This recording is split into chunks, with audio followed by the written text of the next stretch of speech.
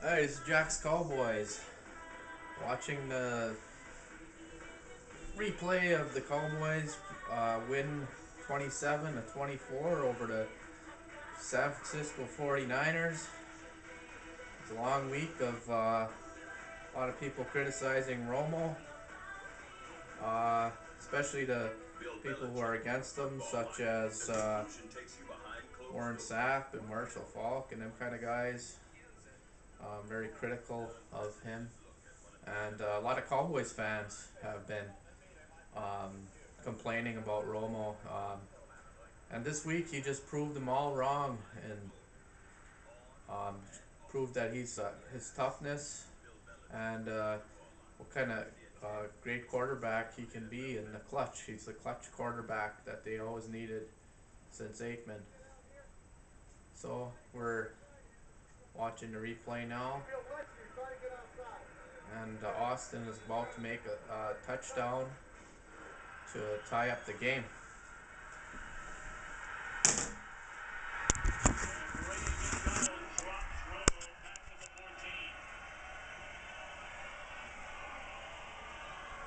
This is just a power rush by a big man, Ray McDonald. This is manna from heaven for a defensive coordinator when you can get an inside pass rush like that.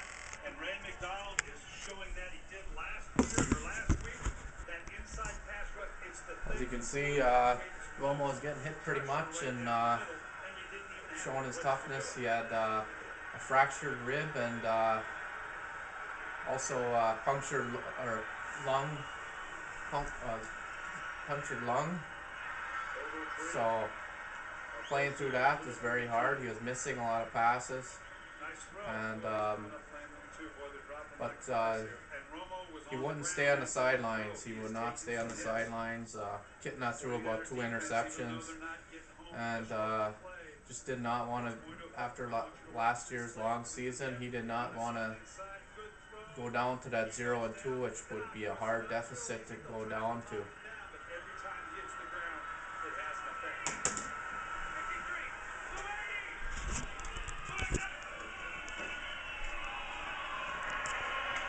Felix Jones, who was injured very early in this game, carries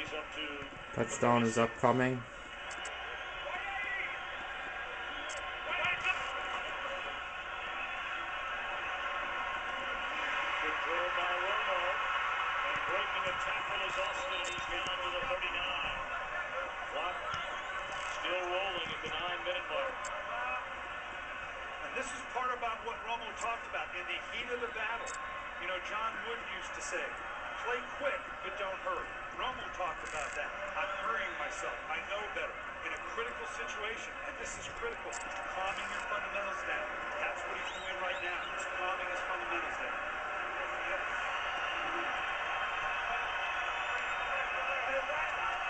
Over, over. They just do get it off.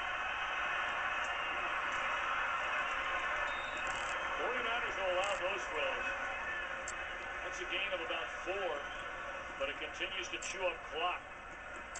Now, this is an area where Jason Garrett, as the head coach and play caller, has got to tell himself. The head coach is telling the play caller, look, I may, this may be four down territory. We're at that point of the game. We got eight minutes. Right? We may get into field goal range on the outer edge, but you need to know that on your third down call. You're going to go for a fourth down, don't run a third down play and then say, okay, now you're going on fourth. It is a two-play sequence when you're thinking those things.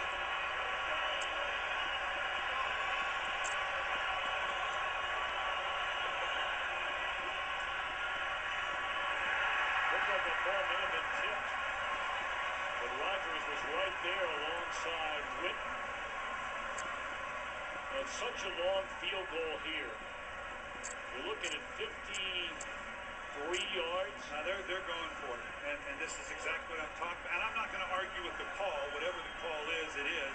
Some might say, well, if I'm going to go four down, let me run on a third down that they typically might not think you do, and then give yourself a fourth down chance. So I'm not going to question the play calling, but clearly that was the sequence. You got to know you're going four on forward if you call a third down play in this situation. Jason Witten. But of course, the 49ers know that too.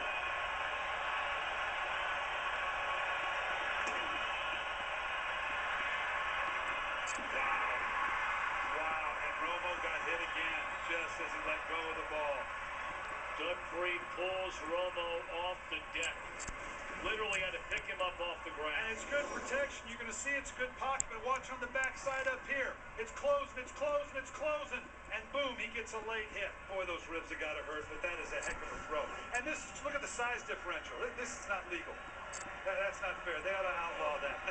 Nothing against my man Donnie Whitner, but with Jason uh, uh, with, with Jason Witten as big as he is, that's why the quarterback goes to in that situation.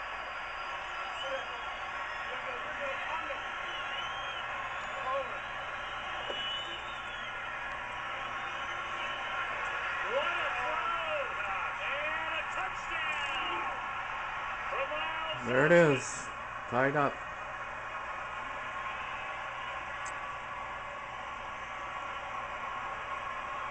Madieu Williams gambled and came up empty. But what a throw by Romo after getting picked up by his teammate. That last one that he makes where he jumps over the guy and comes down and keeps himself up and, and he uses his hand so his knee doesn't hit the ground. That has a lot to do with his athletic ability. He has great athletic ability.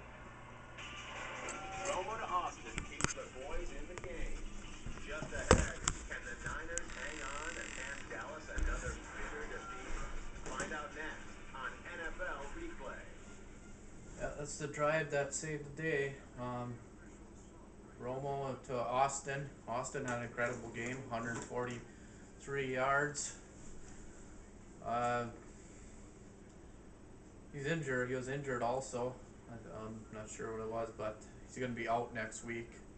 Dez Bryant could possibly be back. Um, Austin will be back. Austin will be back in a couple weeks. I guess he'll be out for a couple weeks. But uh, he showed his toughness. Witten also had uh, rib fractures, but he'll he plays through anything. Witten does, so he'll be back next week also.